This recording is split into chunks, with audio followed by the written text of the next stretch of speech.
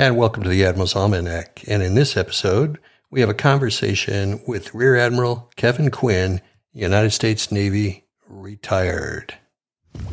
Welcome aboard.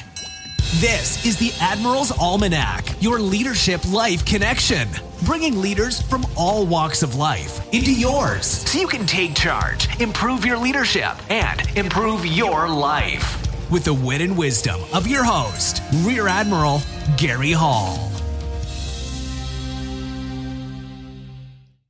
And thank you. And before we start uh, our conversation with Admiral Kevin Quinn, let me tell you a little bit about him. He graduated from the United States Naval Academy in 1977, and he is also a distinguished graduate of the Naval Postgraduate School, uh, where he earned a master's degree in information science.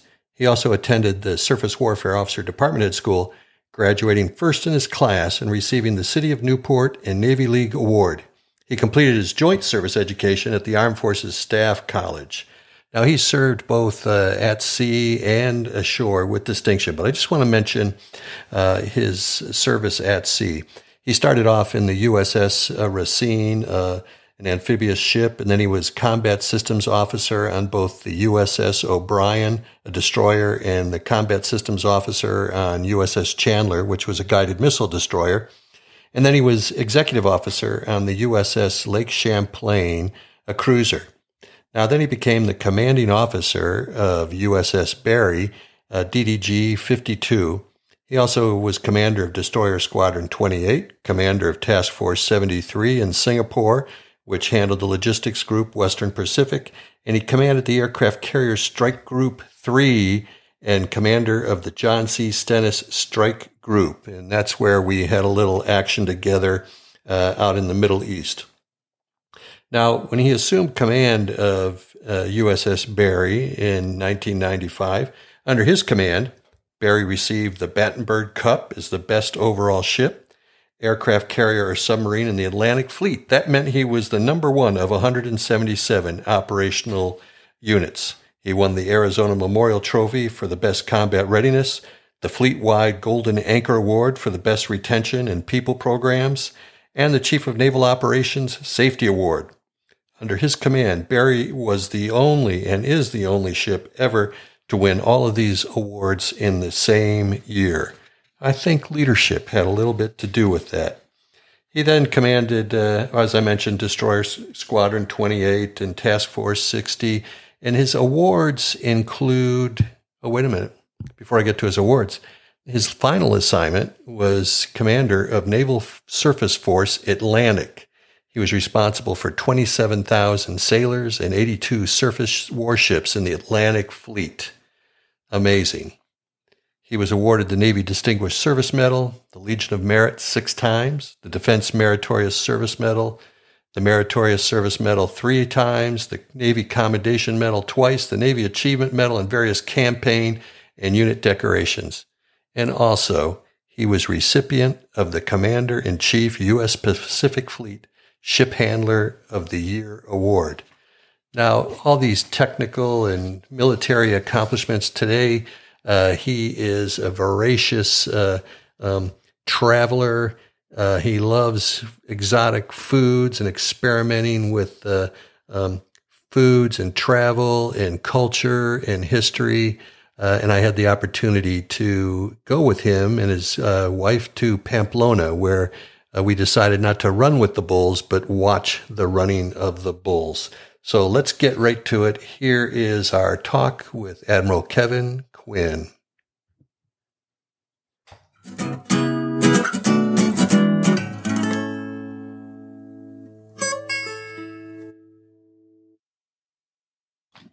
Well, welcome, uh, Kevin Quinn, Admiral Kevin Quinn, to the Admiral's Almanac. We're here in the home of Admiral Kevin uh, Quinn, who is recently off back surgery, but has taken the time out to talk to us on the Admiral's Almanac.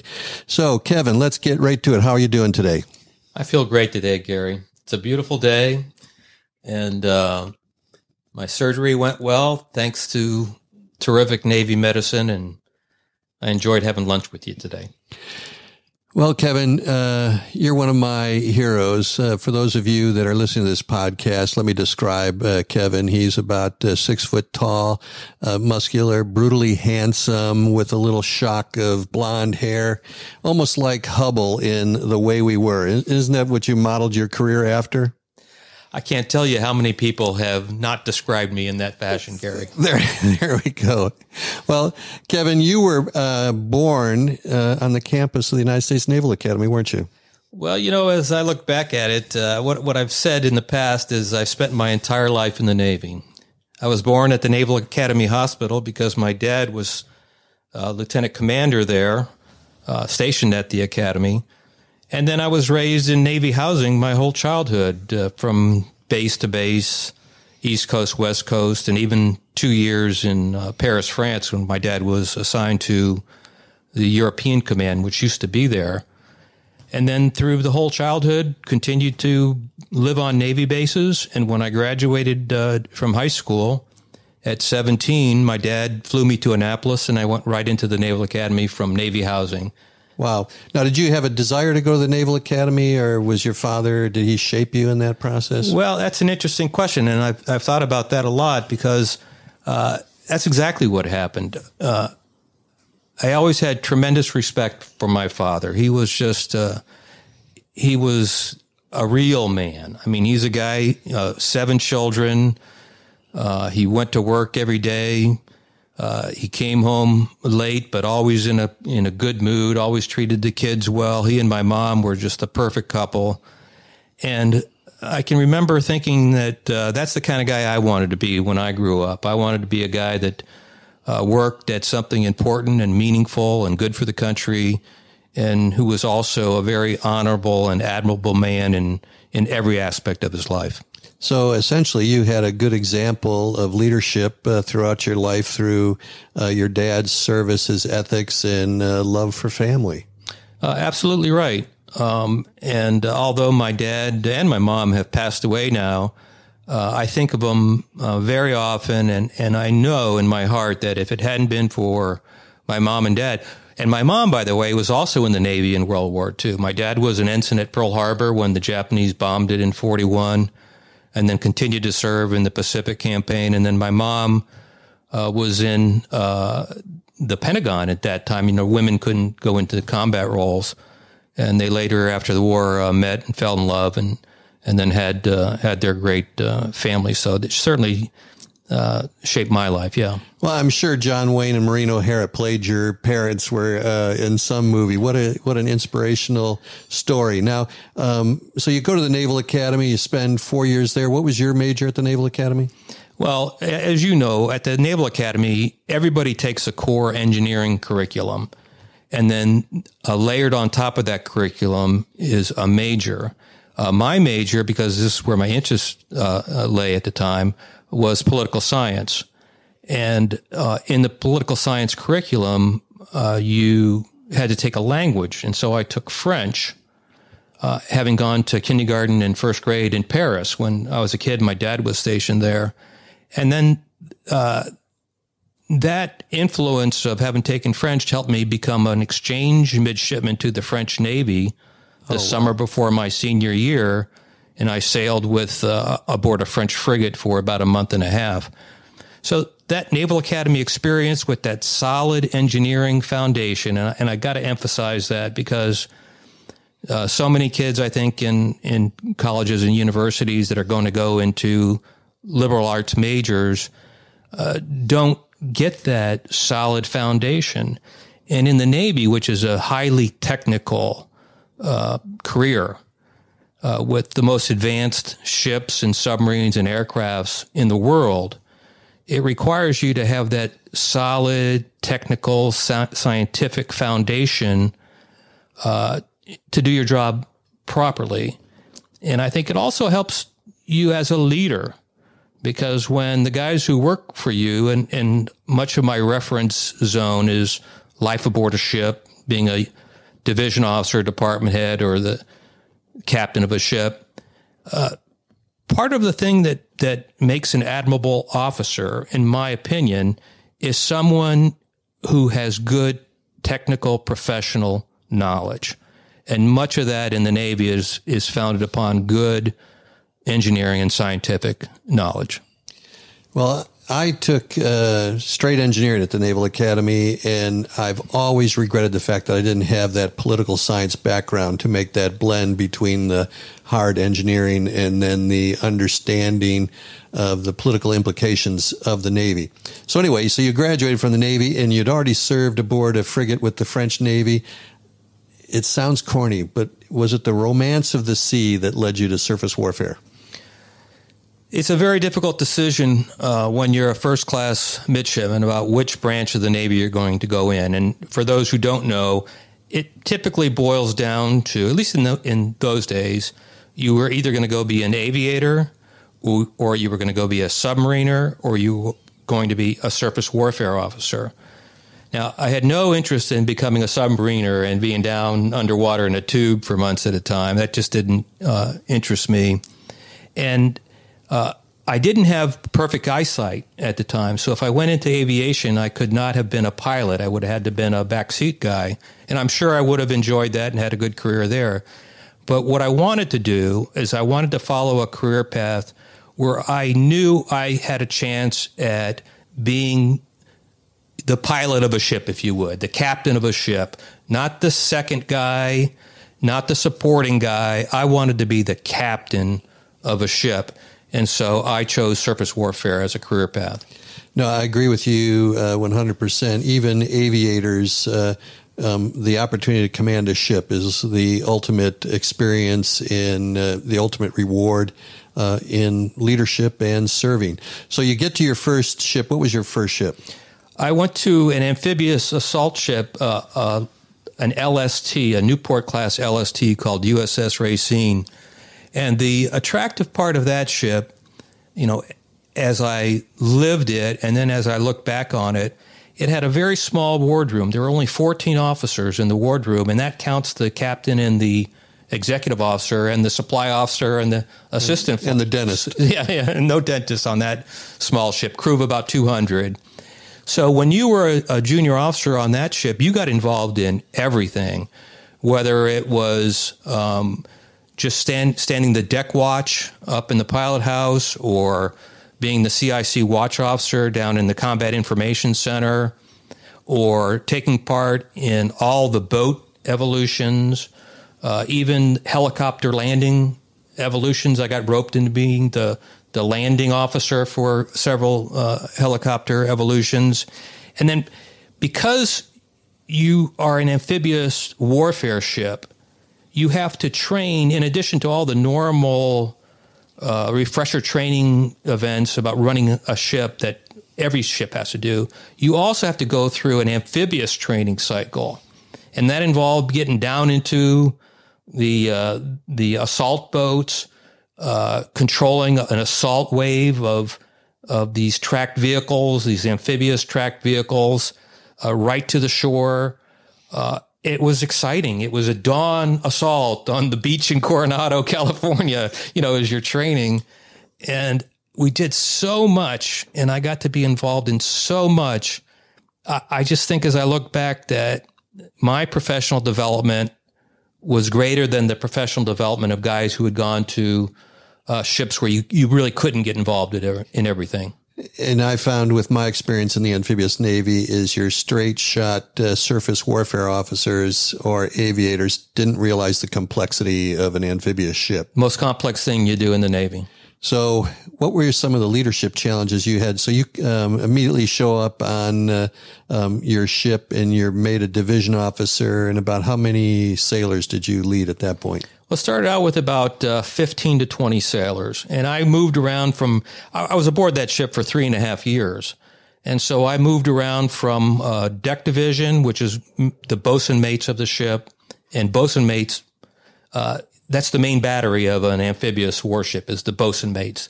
They handle the rigging, they handle the boats. Um, that's the heart and soul of a ship was the bosun mates on that ship. And then I did a tour as a division officer for the gunner's mates. We only had three inch guns uh, on that ship at port and starboard, uh, three inch guns. Uh, but there I learned about surface gunnery. Uh, then I was assigned to the engineering department. And so now I got a chance to interact with uh, the engineers. We call them snipes, the engine room snipes, and work that world aboard a ship. And then after doing that for about a year, I got moved up to be the communications officer and electronic maintenance officer of the ship.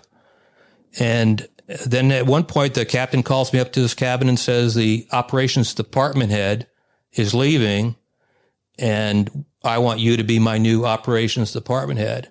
And I was kind of blown away and honored at that point because I had never been to department head school. I had just been to division officer course.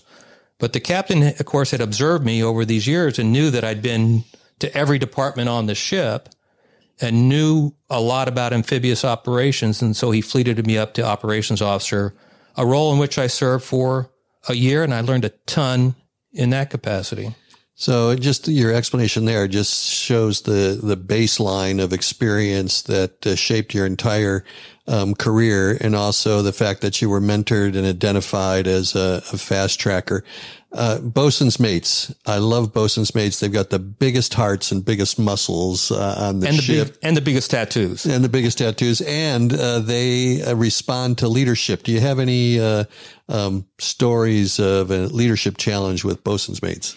Well, you know, in those days, uh, those are some bad years in the Navy. You, you, yeah, that, you remember. We were at that time, uh, we were fighting the drugs. The drug, the, the, drug epidemic was in full force uh, there in the late 70s and, and early 80s.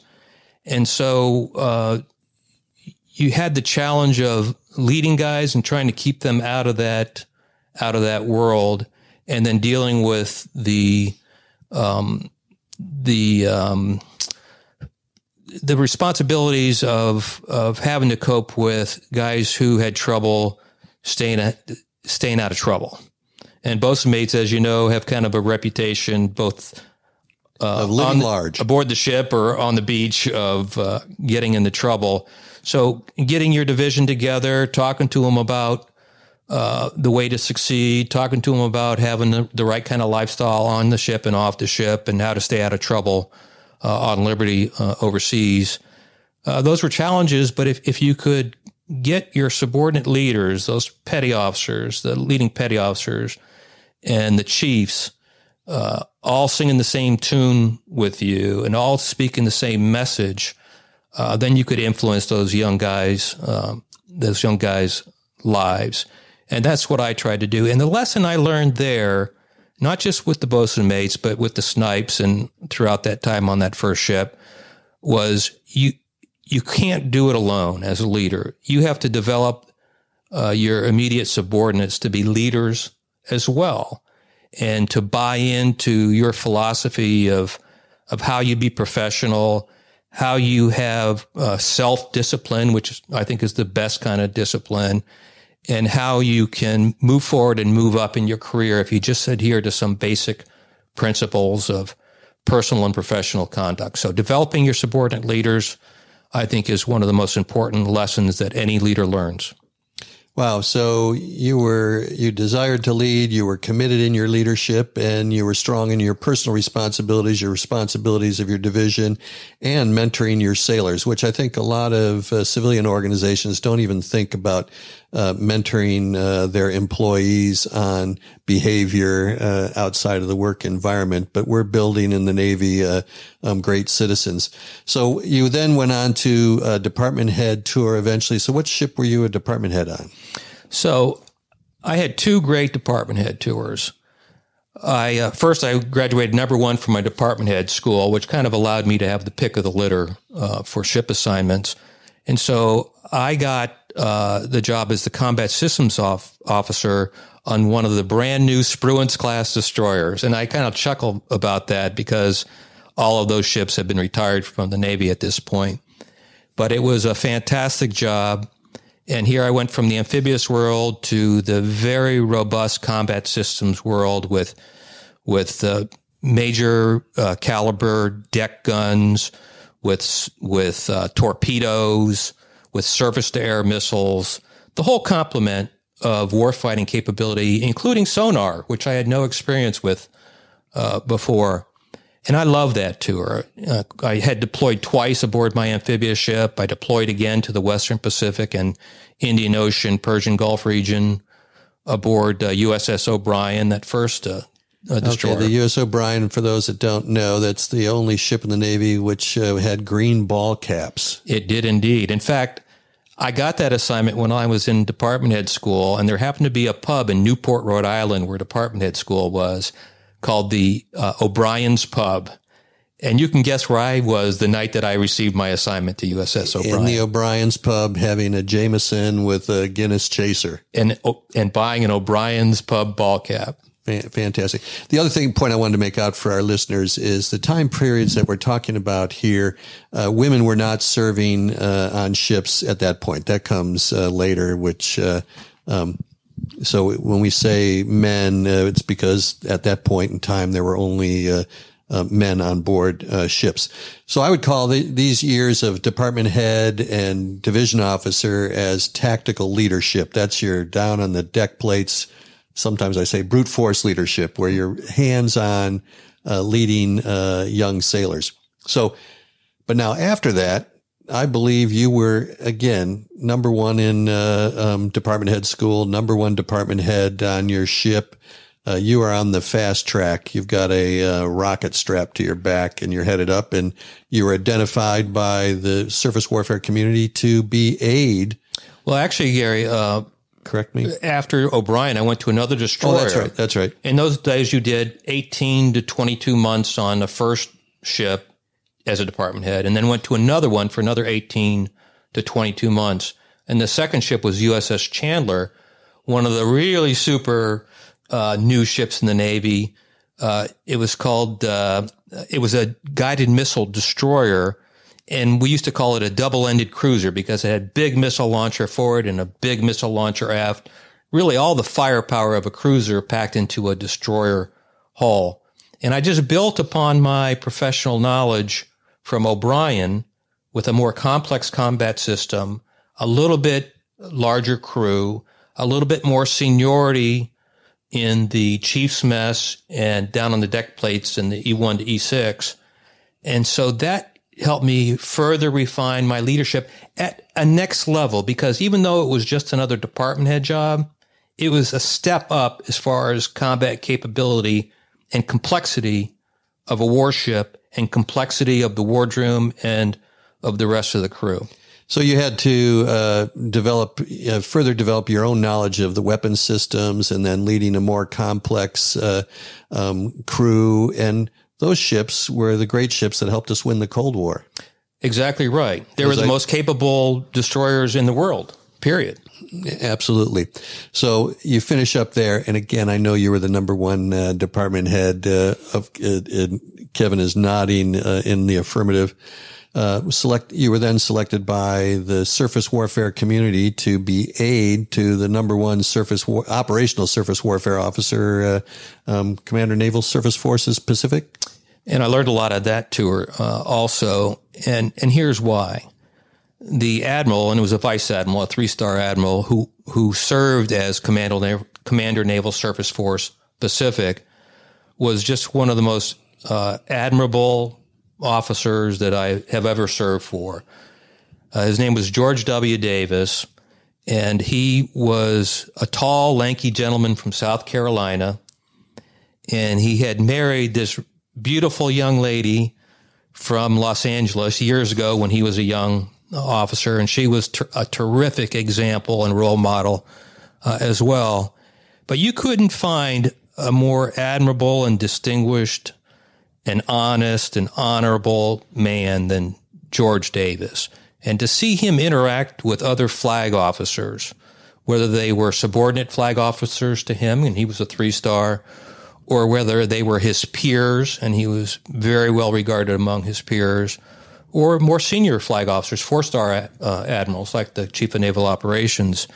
He just always carried himself uh, with an air of professionalism and dis- uh, distinction and integrity that I would marvel at. And I kind of would, I was sort of learning at the footstep of the real pro uh, having having the opportunity to serve with somebody like Admiral George Davis, and and that helped give me a glimpse into leadership leadership at the admiral level, at the flag level, and how they deal with uh, subordinate admirals, captains who might be commodores of squadrons, and the captains of ships. Uh, that was a great learning experience and, and one that I will never forget. I, what year was that? What time frame was that? This is about 1987 and 88. Okay. The reason I ask that is I was uh, aide to three stars at that point as well. One of them was not ethically the best, in the second admiral I was an aide to uh, was a gentleman such as you've described of uh, Admiral Davis. And I won't mention those two admirals' names because it would identify the one that I didn't feel was ethical. But you learn from unethical leaders as well as from ethical leaders. And so you go from uh, your father, who presented the same type of ethical work ethic and gentleman behavior uh, at home, to uh, being an aide to a three star who displayed the same traits. So uh, you are getting mentored all along. And I think sometimes uh, young people need to identify a mentor to to mentor them. So let's uh, fast forward. When did you wind up commanding the greatest ship in the Navy? Well, before I could get to the greatest ship in the Navy, I had to be the second in command of a, of a ship as the XO. And I was the XO of an Aegis cruiser. Again, the latest and greatest type of warship Pattern in the U.S. Navy and, and in, and in uh, the world. And that was a, another great experience at leadership of a ship at the one step down from the captain. Basically, my old captain would say, uh, executive officer, XO, you run the ship and I command the ship. And so I got that great experience of being able to run a warship of that size, bigger than, more complex than a destroyer, uh, and worked for some very admirable professional captains along the way. And then I was very fortunate that I got selected to command one of the first Arleigh Burke class destroyers, the USS Barry DDG 52. And here's the thing, and here's the beautiful part about what the Navy does to develop its leaders. All of this experience that I've just told you about, the division officer tour, the first department head tour, the second department head tour, the tour as second in command of a cruiser, all helped prepare me and develop me so that I could be um, an effective commanding officer of a warship. So that when I stepped aboard that ship, USS Barry, and I flew aboard the ship by helicopter at first, I felt 100% completely confident in my professional ability and my personal capacity to be a good commanding officer of that ship. I had great confidence from day one when I stepped aboard, which helps you be an effective leader for your entire tour. Well, I want to point out, Kevin, that you had true confidence, not a false confidence. No. And we've had people go into command with a false confidence that they were prepared when really they weren't. I hope that maybe this podcast will get to some of our active duty flag officers now, and they are rethinking to try and reincorporate the amount of experience that you gained before you took command of a ship based on the fact that we've had two, uh, horrific collisions at sea, taking sailors' lives who captained by those that I don't think had the same at sea experience you had. And, uh, you know, we can, we don't need to hash that out now, but, uh, but here's another interesting thing about, uh, USS Barry, Gary, because you mentioned that there were no women aboard, uh, com- combatant ships. USS Barry was one of the first ships in the Navy, combatant ships in the Navy, to have women integrated into the crew, including into the wardroom. So when I stepped aboard that ship, I had female officers in my wardroom. I had female chief petty officers in my chief petty officers mess. And I had uh, female junior enlisted sailors uh, in that uh, portion of the ship. And here's the, the, here's the insight I came away from from that. That's one of the best things the Navy ever did was incorporate yes. women aboard those warships because – the women across the board, from the more senior female officers to the most junior sailor, female sailor, were some of the best officers and sailors. Well, everybody's a sailor on a ship. Some of the best sailors uh, that I served with. And so I'm a strong proponent of the integration into women aboard our uh, combatant warships. And I saw the same thing. Uh, Tarawa had 10% of the crew was uh, female and they, they need to get a little bit um, higher percentage, which they have at this point, um, to have that uh, leadership throughout of uh, um, women. But yeah, some of the best sailors, uh, ship handlers, officers uh, I had were the women that were uh, newly integrated into time at sea. So now the USS Barry has produced quite a number of flag officers, and I think my classmate, uh, one went on to four stars, and another classmate who commanded Barry was one of the few that didn't make didn't make admiral. I'll leave his name out. He might have been before you, I think. Anyway, so you you've got to have. I always said when you're in command of a ship, um, there's going to be three times when the captain saves the ship uh, um, and saves life or limb. But that's the good news. Only three times during a three year tour. But the bad news is you don't know when those three times are going to happen. Did you have a a time on board, uh, Barry, where um, you were the one individual that had to save that ship? Uh, I don't think there was that time because of how well prepared my crew was from junior. Again, I include everybody on board that ship in that statement because we prepared thoroughly for every evolution.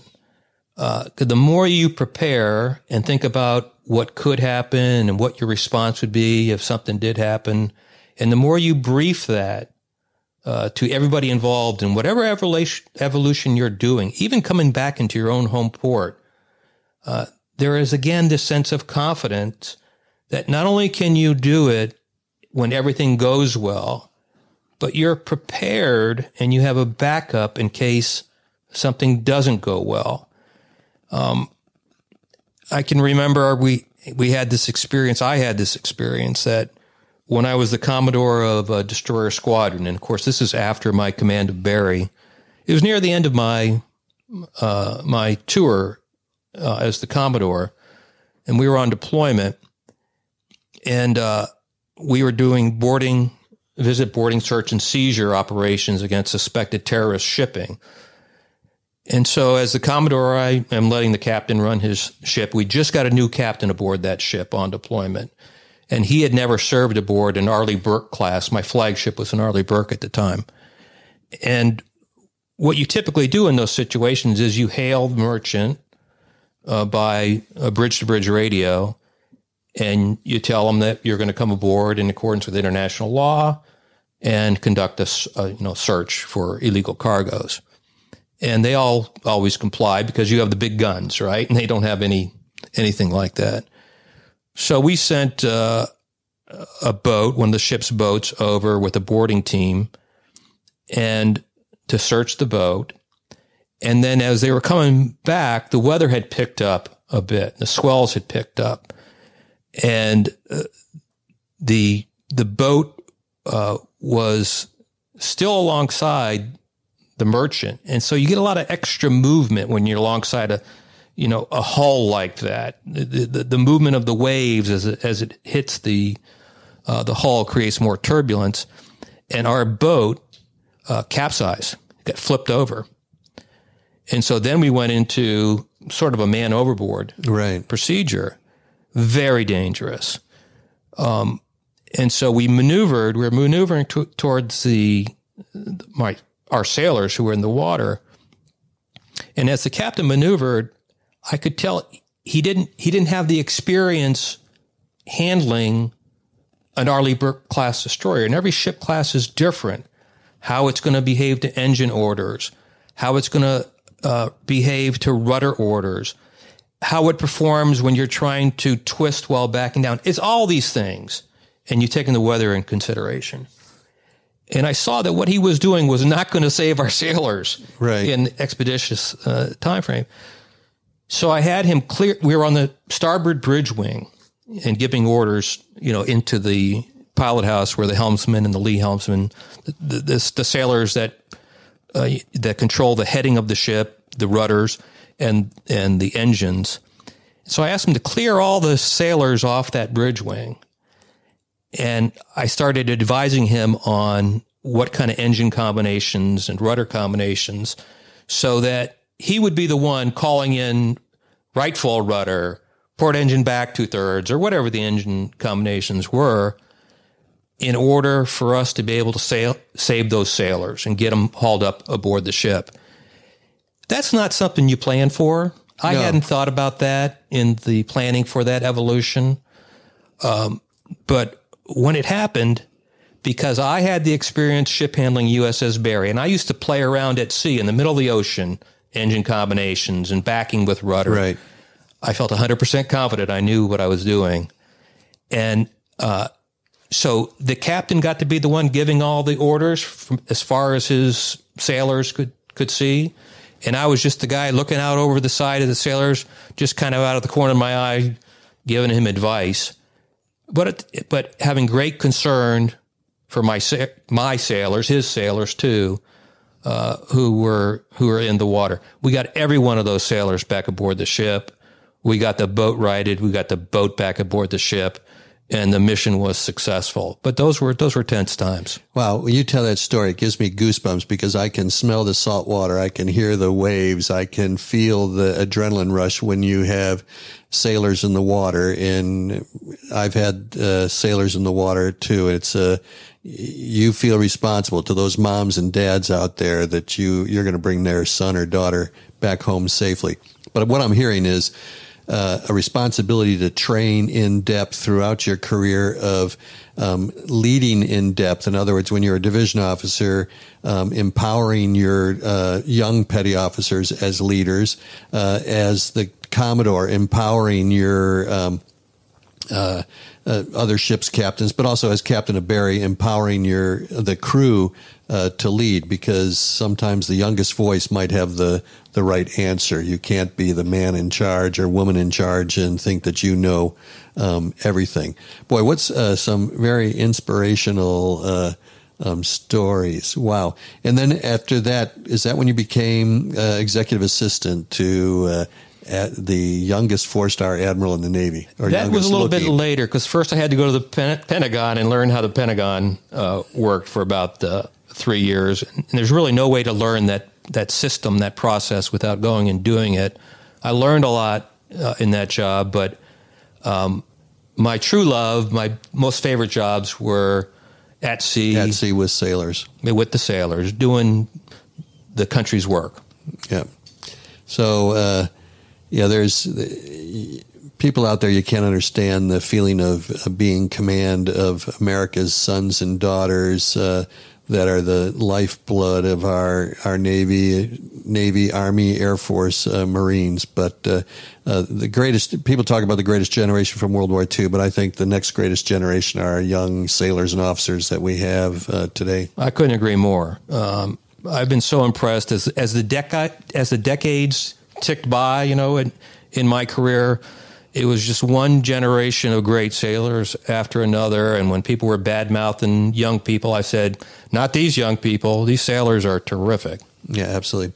All right, so you did your Pentagon penance, and uh, at at that point uh, was Admiral Natter the commander. Uh, Well, see, I rolled back to be the commodore of a destroyer squadron at that point. Oh, okay. So I had a squadron of about six destroyers working for me, and I was the battle group's uh, sea combat commander. So I was responsible for the admiral in charge of the battle group, which inco- includes the aircraft carrier, the cruisers, destroyers, frigates, for the defense of that battle group uh, from submarines and from surface ships, and for my ships carrying out all the uh, the, the numerous duties uh, to which they were assigned.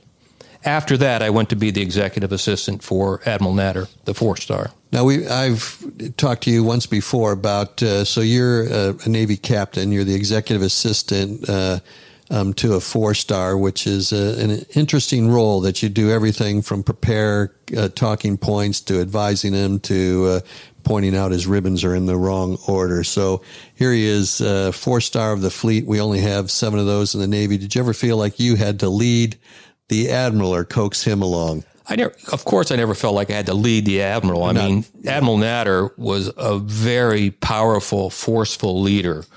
I mean, that guy was impressive. uh, you know, a true professional, a hero, a silver star in Vietnam. He still had part of his arm, uh, you know, that had been blown off. You could see the scars to that uh, day. He was one, in, one of the riverboat guys in Vietnam, a riverboat sailor, and uh, you know, a lot of firefights and a lot of uh, guys that didn't come home from those types of, uh, battles. So he was tested in fire, and he was forged in those type of uh, experiences, and uh, he was a very dynamic and very forceful leader. What you learn from a guy like that is not only um, uh, his traits as a guy whose command included tens of thousands of sailors, all the aircraft, all the submarines, all the uh, surface warships in the Atlantic Fleet, half of the United States Navy he's responsible for, and how he was able to identify the key issues, the key pressure points that he needed to focus on to make sure that the fleet was combat ready and that the ships that we sent forward on deployment into the uh, various war zones around the world were ready to fight on arrival because that is the standard. The standard is not passing inspection. The standard is is being able to fight and win on arrival.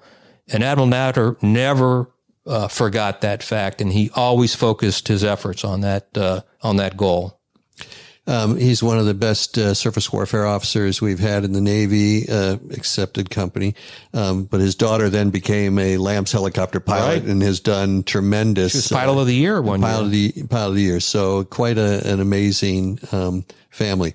Now I have to confess, the reason I asked about when you were an aide is the same time I was an aide uh, when you were cruising on your Spruance class destroyers. I was a Lamps pilot out at sea on Spruance class destroyers. Um, from the Naval Academy, I saw you in the yard. Didn't know you from those days of uh, port calls and deployments in Westpac. Uh, I saw you uh, again, a young Robert Redford type, only taller than Robert Redford. um, you know, and it wasn't until uh, we were both selected for flag officer that we met and uh, developed a, a close professional and personal um, relationship. So, what was it like to um, command uh, a carrier strike group? To me, that's really uh, the epitome of naval leadership, afloat naval leadership. I mean, a, a U.S. Navy carrier strike group, we used to call them carrier battle groups, we now call them carrier strike groups, I think is, it, it would be the highlight of, of any naval officer's career. Uh, here you have this fighting force centered on the aircraft carrier, which was my flagship, the USS John C. Stennis, and comprised of, depending on ships assigned, cruisers and destroyers and frigates, and sometimes submarines assigned, and the carrier air wing. And you see these commercials for the Navy, and there's the carrier strike group steaming uh, at sea, and their aircraft flying around the carrier like bees around a hive, and they're landing and they're getting propelled off the ship by the catapults. Uh, and there's all these warships around it. You really feel like you are the heart and soul of the Navy's combat capability at sea. It's the most amazing, fulsome feeling that I think any naval officer could have. Absolutely. Now, uh, for our listeners, uh, well, Admiral Quinn was uh, commander of a carrier battle strike group. I was commander of an expeditionary strike group. I was shore based in Bahrain, uh, um, over in the Middle East in the um, Persian Gulf. And I have to tell you that occasionally um, great leaders need to get together for uh, some brainstorming. And uh, Kevin actually maneuvered his battle group so that he was within flying distance of meeting up with me, spending a couple nights uh, um, in Bahrain, where we um, walked the back alleys of uh, Bahrain. Maybe have gone to a couple of restricted uh, locations. I think the statute of limitations that is is over with, but. A tremendous career. Have, so, do you have any thoughts on your philosophy of leadership, which I think we could tease out of this conversation? Well, hopefully you saw, especially in the early part of the discussion of your career, is I think uh, a leader has to be professionally competent. And there are a lot of facets to that little jewel. You really, you have to know what you're doing.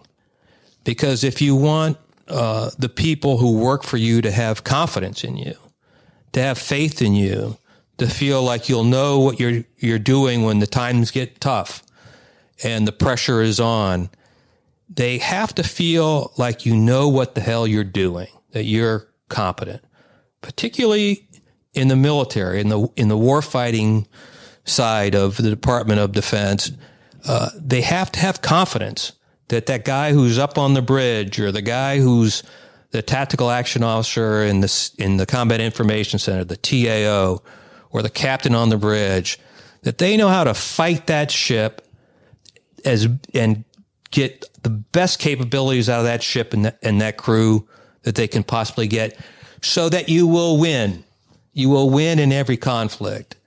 In my um, command philosophy, when I had Barry, and the philosophy never really changes, uh, I said that Barry is a warship, and it was built to fight. And our job as the Barry's crew, and my job in particular as the captain, was to know how to fight that ship to the best of its capabilities, get every ounce of warfighting capability at, out of it, with the goal of when we went into battle, we would win. Victory in battle was my loads, my star that I was aiming for. And sometimes people would say, well, why aren't you emphasizing deterrence and, and, and, uh, trying to stop things from happening? And my answer was this. The way you deter, the way you dissuade potential enemies from getting into a conflict with you is if you, they know that you are so combat capable, so lethal, so well prepared, so well outfitted in the form of combat systems and weapons that they'd be fools to try to go to sea and take you on because they would lose and we would achieve victory in battle. Yes, the overwhelming ability to defeat is a great deterrent. Well, Sun Tzu, I think, said the greatest general is the one who wins the battle without firing a single shot. Absolutely. And I think we did that with the Cold War. I think we did. I'm, so, I'm, confident we did. So, but I think you can translate, you know, we, that's from a military perspective, but I think you can uh, um, relate that to almost any business that you have to be professionally knowledgeable and in command of your area of expertise in order to um, inspire others to to lead. And that's part of it. And, and we also talked about character and and uh, integrity right. and all those things that make people want to follow you. Right. I mean, you can be a drug lord leader and be a great drug lord leader, but not have any sort of ethical or moral uh, fiber to right. you. So, also, uh, all this uh, strength and of character, integrity, and uh, leadership prowess has led uh, Kevin to go on to be a tremendous uh, world traveler. Uh, he's run with the bulls. Well, really, he didn't run with the bulls because I was with him. And once we converted kilograms to uh, pounds, we realized how big those bulls were, and we decided to drink with them uh, instead. So, uh, Kevin, um, do you have a book that influenced you? Do you have a, any sort of book that you could recommend to others? Well, I think uh, any of the great books on sea power, the influence of sea power on history, uh, for example, and then some of the fundamental warfare philosophy book, like the Sun Tzu book, Art of War, that I that I mentioned earlier. Those are two totally different, um, you know, books. Two to- two totally different types of uh, education, uh, but they help. I think you understand the importance of what you're doing and the importance of, uh, in my case, uh, the power that the U.S. Navy brings to our nation's ability to be successful and prosperous. And then at the same time, from the art of war of how to be, how to fight or to engage in a conflict in a way that you can achieve your goals uh, without losing any of your shipmates in the process. Right. So, Kevin, I, through this talk, I see you had the desire to lead and therefore took the commitment to lead by going to the Naval Academy and then uh, following a, a 30 plus year career in the Navy is definitely a commitment. And your responsibilities were that you uh, knew your trade craft mm-hmm. inside and out from uh, fore to aft, uh, port to starboard uh, and that you were held yourself accountable that uh, you would always win and never lose in combat, which again is a, a vision that you communicated well with your um, your crews.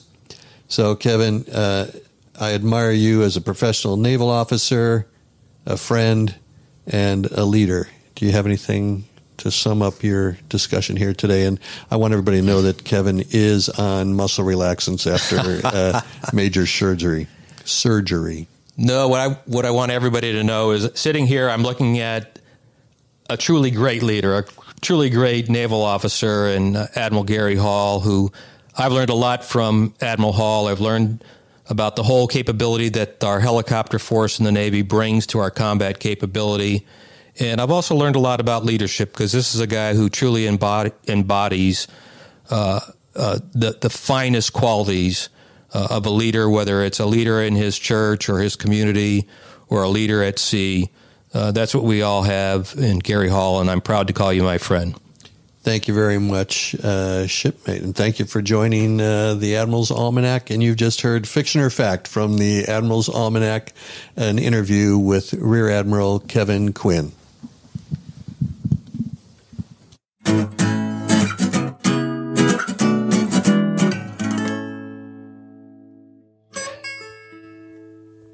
Wow, what a great uh, conversation with uh, Admiral Quinn. I hope our listeners uh, really enjoyed that. And if you did, go to your Apple Podcast and subscribe to the Admiral's Almanac for future uh, discussions just like this.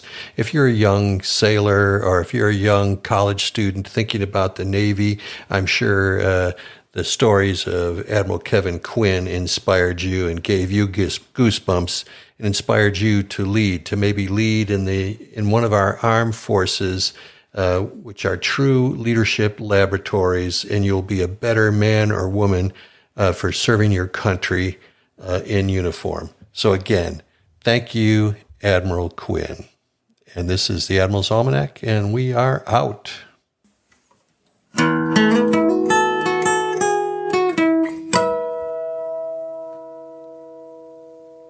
Until next time, thank you.